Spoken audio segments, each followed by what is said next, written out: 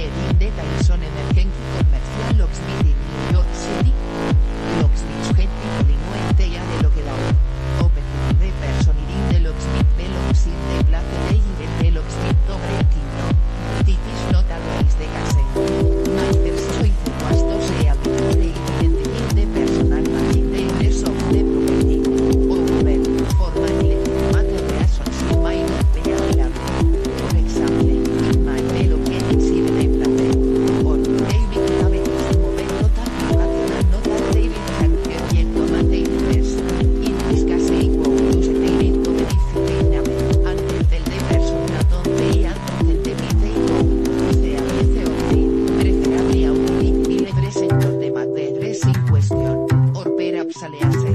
y le no in advance.